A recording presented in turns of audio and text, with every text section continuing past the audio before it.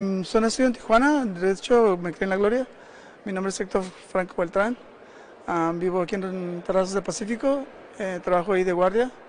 Y es el día 28 de mes pasado salí de cacería porque tengo una, un rifle de postas para las ardillas, conejos. Me gusta cazar, pero con rifle de postas, no tengo rifle de alto calibre ni nada.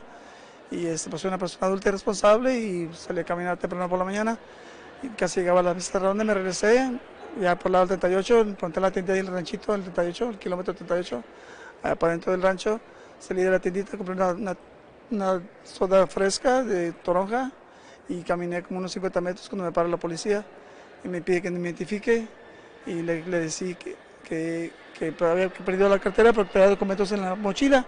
Y en eso le digo, disculpe señor, pero me podía proporcionar su nombre. Y por el, por el hecho de que le pregunté, le dije, ¿y tú quién eres? Y me empezó a mentar mi santa madre. Y me agarran del cuello y me, me, torcen el, me torcen el brazo. No te resistas, no te resistas. Le digo, señor, es mi derecho saber, como ciudadano contribuyente, quién me está arrestando. ¿Cómo sé que ustedes son policías de verdad? Porque ha pasado y sigue sucediendo, porque pues está la corrupción a todo lo que da, todo el mundo lo sabe, pero todo el mundo tiene miedo, menos yo. No tengo miedo a esos güeyes. Muy güeyes, los güeyes. ¿Identificaste quiénes fueron? ¿La Sí, patrulla? ya, o ya está todo. Sí. Ya está todo aquí con el licenciado. ¿Presentaste denuncia? Sí, ya ¿Ante quién? ante aquí en sindicatura y luego el jefe de aquí, Miguel Ángel Chávez Leal, me queda su tarjeta, acaba de salir de hablar con él, ¿Qué te dijeron ahí? que van a presentar, van a traer los policías ah, responsables y este que ah,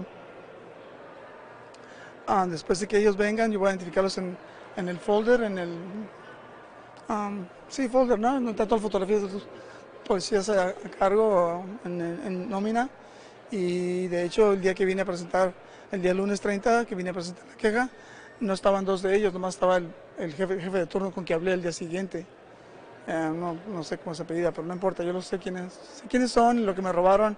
Yo solamente quiero a mí, sea mi justicia, mi respeto, mi derecho de ser. Aparte del maltrato verbal y de que te jalonearon, ¿qué más te hicieron? Porque dices que te robaron.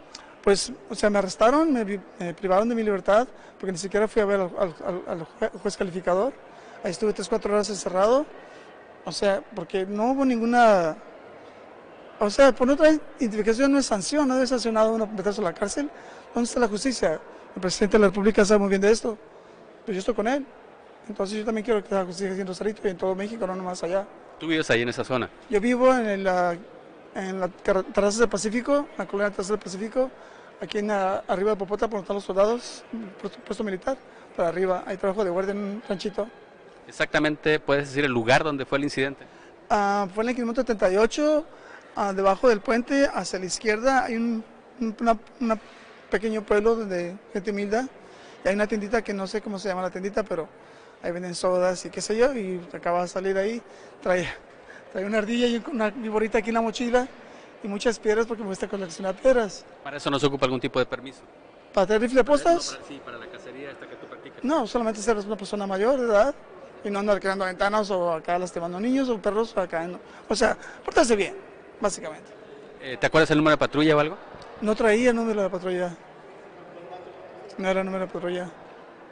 Bueno, pues ya está hecha tu, tu denuncia al aire y pues eh, ya la gente va a tener su opinión, por supuesto, respecto a esto y pues es un caso, ¿no? De denuncia policíaca, de Sí, abuso sí, policiaco aquí en Playa de Rosario. Sí, sí, señor. Héctor Franco Beltrán, para servir a Dios. Gracias.